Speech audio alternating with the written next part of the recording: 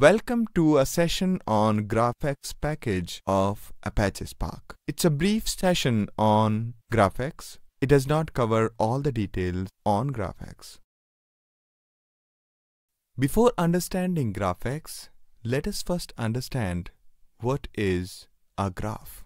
A graph is a data structure having vertices and edges. The vertices are connected via the edges. We can represent complex relationships using graph. Here, in the example, the vertices represent the people. Each vertex has ID and properties.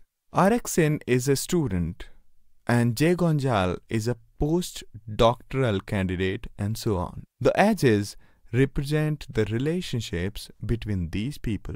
For example, student marked with 3 as ID is collaborator of 7 postdoctoral candidate. Similarly, 5 Franklin is the advisor of 3 student. So, the graph is defined by two tables, vertex table and edge table. Most of the computational problems do have graph in one way or another. Many real-life problems are solved using the graph data structure. Here are few examples of graph problems at large scale. First one is finding common friends in a social graph such as Facebook. The second example is to find the page rank Second example is PageRank.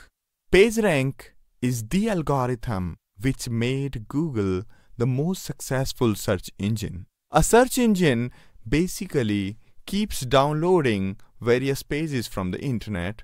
After downloading, it creates indexes and tries to understand the pages. Index is like a list of keywords with details about where those keywords were found. When we search for some keywords, the search engine returns the result from its index.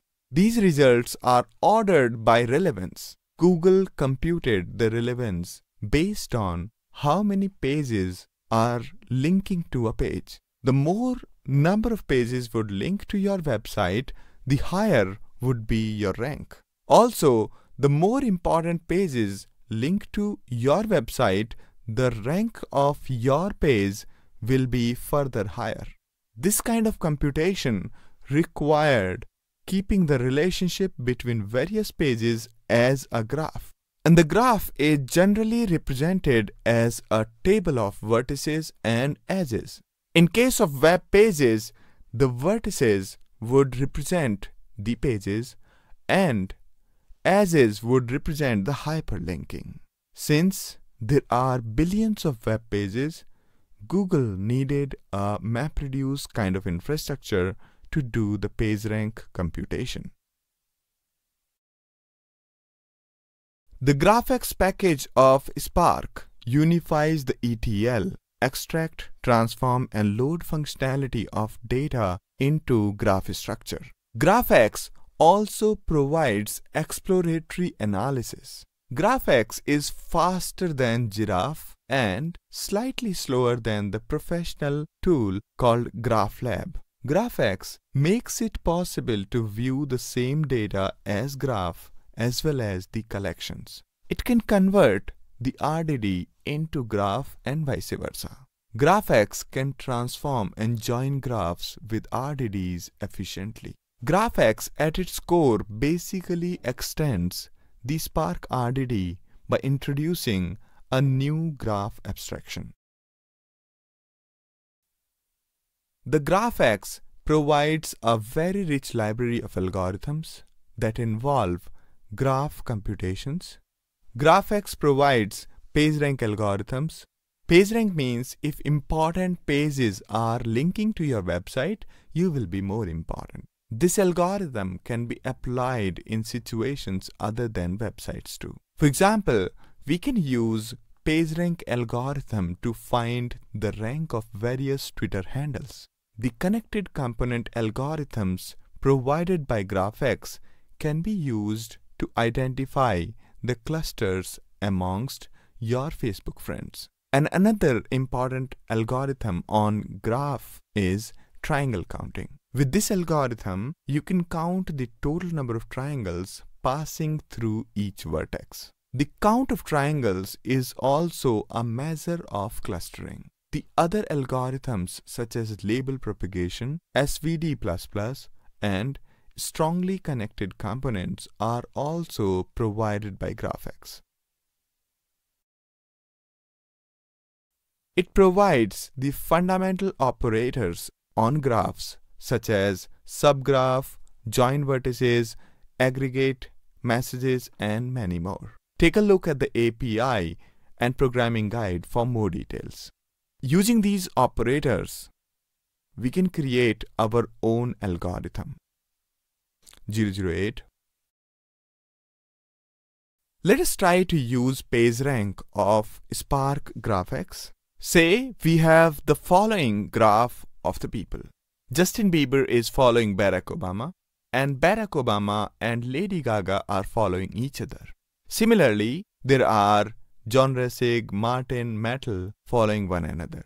While out of Barack Obama and Lady Gaga, Barack Obama is more important because he's being followed by two persons. This is what PageRank algorithm in a very simplistic form is. As more and more people are added to this graph, the computation of ranks will become more complex. It would need a decent amount of computation to find out the ranks of each node.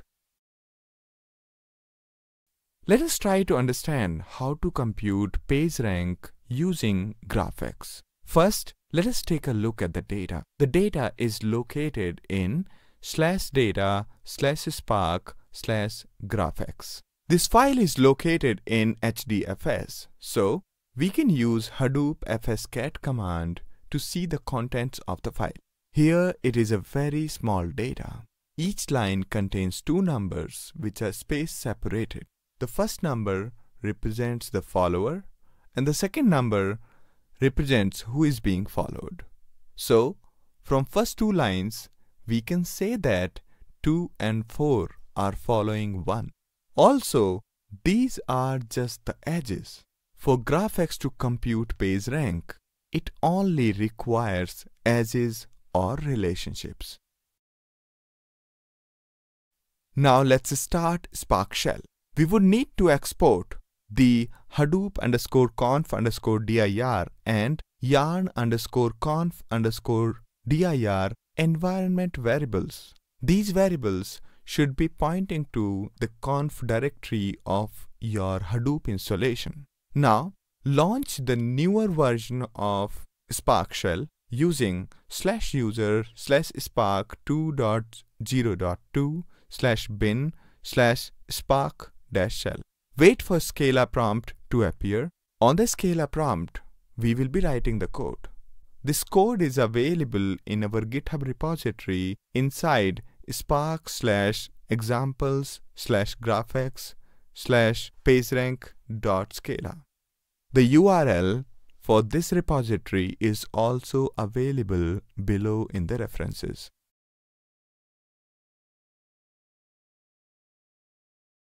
First, let's load the graph using graphloader.edgeList file with Spark context and the file name as argument. This creates a graph object from plain text file having information about edges, now, we can simply call graph.pagerank method and select the vertices after the PageRank has been executed. That's it. We have calculated the PageRank of each vertex. To take a look at the result, let's collect the ranks object. You can see that each vertex ID has a rank. We can further replace the ID with the name of the person. This can be easily achieved by joining the IDs and the users. Let us create the RDD of users text file followed by the map transformation. Next, join the users with the ranks. Afterwards, we clean up the data structure, leaving only the names using map method.